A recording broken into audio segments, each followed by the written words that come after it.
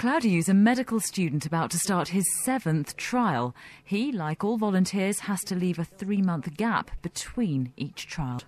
This facility is now in lockdown. A number of healthy volunteers have been placed into quarantine, infected with a weakened form of the flu virus, and then given the drug which is currently being tested. This is as far as we can go because they're just the